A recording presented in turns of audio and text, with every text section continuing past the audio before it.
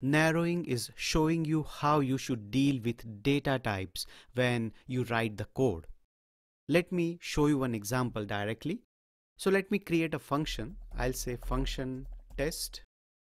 Now assume that I have a parameter a which can be a number that is a numeric type or it can be a string type. So this is what a union type is.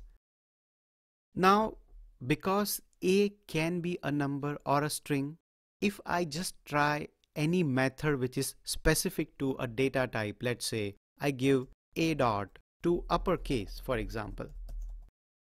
Now when I do this, here you can see that it is showing me to uppercase does not exist on type string or number, which is not actually the case.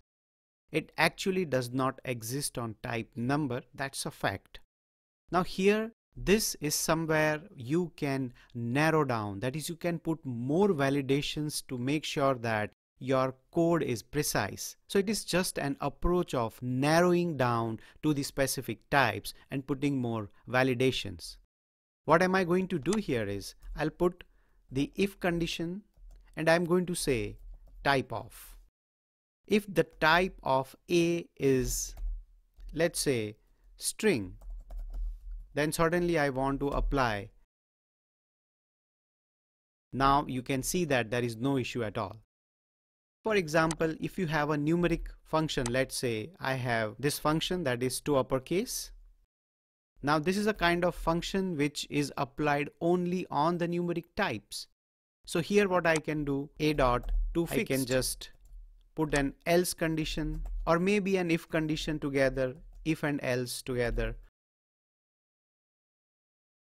a if it is number then I want to apply say type of to function so here it doesn't show any problem but if I put it here or even if I put it outside the if condition it is going to show me the problem that toFixed is not available for a specific type.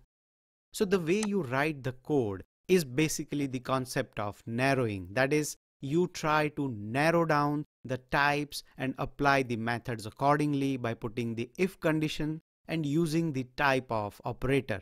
And if you check the official documentation, let me go to the official documentation. I'll say TypeScript and let's open the documentation. Here, if I click on the docs, you can see that narrowing is one of the concept highlighted on the main page.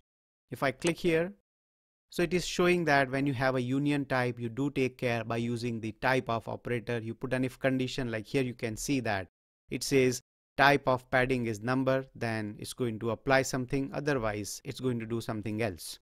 So practically it doesn't give you any error because the JavaScript code anyway gets converted but you are making sure by narrowing down that the code which you have written does have the specific type of methods applied here we also have one more thing. You can see that type guards. Now these are just fancy terms. Actually it is the type of operator which returns these values. So basically you can compare like I have already written in this code where string and number. So how do I come to know this? Of course, you can directly print the type of and you will get this value. But here in the documentation also you have these explained that type of type guards. It's just a fancy name that they have used for these values. So it is just type guards. That's what they call it. So to conclude, narrowing is just a concept, but it's good to know when you are dealing with TypeScript.